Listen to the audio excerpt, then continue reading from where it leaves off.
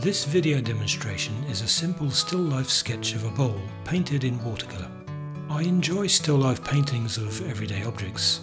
They're easy and quick to set up in any environment. And I think painting isolated objects like this is a great way to practice and improve your skills without being overwhelmed by the subject. For example, you don't need to add a complex background, and the objects themselves can be as basic or elaborate as you like. As usual, if you'd like to try this painting for yourself, you'll find a worksheet with the traceable outline on my website. Just follow the link below this video. Despite being very simple, there are a couple of things worth noting about this particular subject. I chose a bowl with a repeating pattern. This has an interesting advantage. Patterned objects make it easier to create an illusion of depth. When you observe the bowl from a fixed viewpoint, the patterns appear to change and warp across the surface. In other words, when you transfer the bowl's pattern onto a flat sheet of paper, the shapes you draw are following the direction of the curved surface. Our eye then naturally interprets these shapes and creates the perception of three-dimensional form. Second, this watercolour demonstrates the notion of underpainting. Without getting into too much detail, Underpainting in watercolour is about laying down an initial foundation of colour before building up the rest of the painting. And because watercolours are transparent, the underpainting shows through and influences the final colour appearance of your artwork. So for the underpainting of the bowl, I deliberately chose a warm orange colour. Now the bowl in the original reference scene is a cool blue, but by choosing to paint a warm colour first, I knew I would create a more luminous effect for the final result. Also, blue is the complement of orange. Complementary colours tend to set up a more dynamic and interesting composition. And when you mix opposing complements like orange and blue, they neutralise each other. In this way, overpainting with blue would create a rich array of coloured shading and neutral greys. Okay, so before I show you the detailed step-by-step -step process for this painting, let's break it down into a few basic stages. After the sketch is transferred to the paper, I begin with the orange underpainting. Then I painted the shading and shadows using a blue-grey mixture. On top of this, I painted the pattern.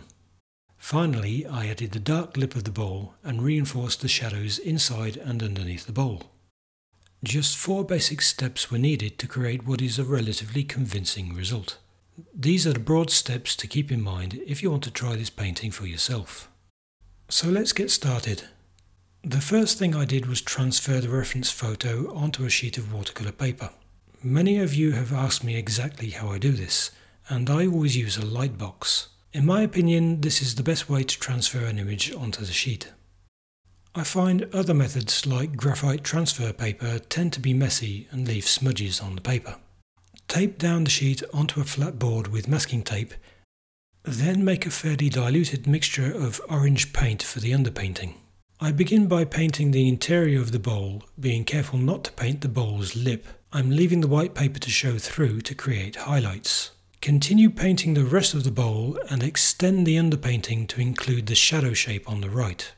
You can see that the only place I did paint the lip of the bowl was on the shadow side. To reinforce the tonal value on the shaded interior of the bowl, you can see me add a few extra brushstrokes of paint. Next I started adding shading and shadows to the bowl to begin creating depth. I used a dark blue for this step. Keep in mind that the orange underpainting influences the final colour appearance. Because orange and blue are complementary colours, they neutralise each other to create a darker mixture on the paper. While this new layer of paint was still wet, I started charging in a more saturated blue colour. Charging in is a watercolour term used for when you dab paint into a wet wash of colour. I'm doing this to deepen the tonal values and extend the shadow shapes inside the bowl. This will help create a mixture of soft and hard edges depending on the wetness of the underlying wash. At this stage the paint is still fairly damp. Because I haven't waited for the paper to dry, you'll even see some backruns and blooms developing in the painting. I don't mind this effect because I think it adds some interesting textures. I let this layer completely dry before moving on to the next stage. Watercolour always dries lighter in appearance than while you're painting, so the next step is to add a glaze of paint to darken the shadow shapes.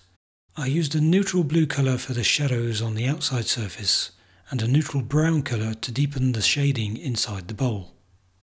Leave the paper surface to dry again before moving on. Next comes the fun part of adding the pattern to the bowl. This stage really starts to bring out the three-dimensional aspect of the subject. I think this takes the painting from something that has simple shading to something that starts to pop out of the page. Notice that I changed my brush to a small round brush for painting these details. I'm using a more saturated blue colour, but also I'm changing the strength of my paint mixture depending on the area of the bowl that I'm working on. For example, the inside surface of the bowl that is turned towards the light was painted with a light coloured diluted blue mixture. This area is drenched in light, so it needs to have a bright appearance. But on the shaded side I used a darker, less diluted mixture of paint. The stronger colour is in keeping with the darker tonal values needed for this part of the painting. This trick will reinforce the three-dimensional effect of the finished watercolour. When the pattern is finished, leave everything to dry again. The final step is to add some cast shadows.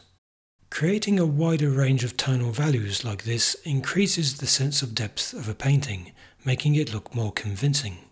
By the way, value is the term used in art to mean how light or dark a colour is.